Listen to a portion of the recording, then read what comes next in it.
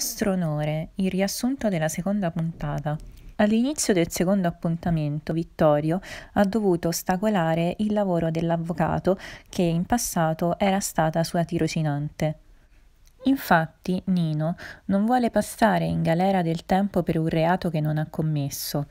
Per questo decide di parlare con il suo avvocato e le dice che per il giorno dell'omicidio stradale lui aveva un alibi, ovvero stava rubando un'auto dall'altra parte della città.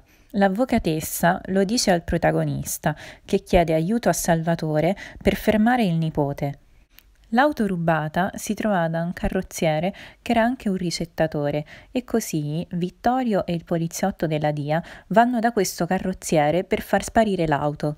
Poco dopo arrivano Sara, la poliziotta, insieme all'avvocatessa per cercare quest'auto dal carrozziere. Non la trovano ovviamente perché è stata fatta sparire e iniziano a pensare che Nino abbia mentito, o meglio, lo pensa Sara, l'avvocatessa no. Il clan dei Silva inizia a pensare che Diego sia stato investito da Nino, anche perché poco dopo il giovane è stato arrestato e così si vorrebbero vendicare. In carcere tentano tentano di accoltellare il giovane, ma alla fine viene colpito suo cugino. Vittorio si sente in colpa e pensa di farlo entrare in un programma di protezione.